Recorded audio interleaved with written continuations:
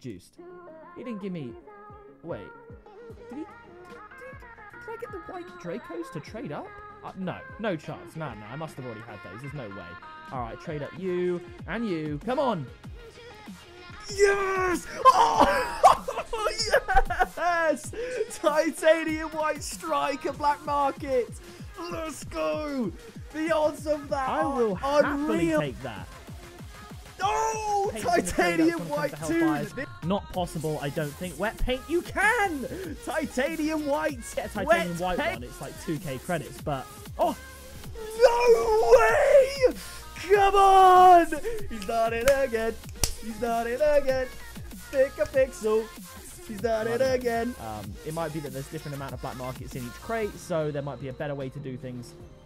Yes! Come on! He's done it again. He's done it again. Pickapixel. He's done it again. Let's Okay, so go! Three for the whole video. Watch this be a Nurgle. Oh! yes!